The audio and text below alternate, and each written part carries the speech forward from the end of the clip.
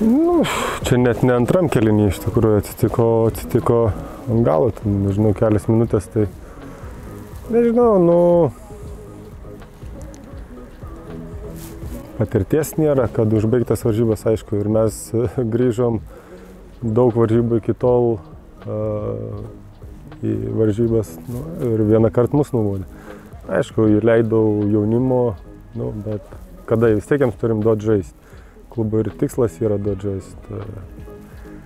Nežinau, bet vien kaltyti jaunimo nesinorėtų, nes tokie ir, ir, ir, ir, ir ten, kur galim išsimušti kamuolį įsivalyti, atiduodam kažkur į vidurį, kur, kur reikia ramiai sužaisti, kažkur tai mušam, panikuojam.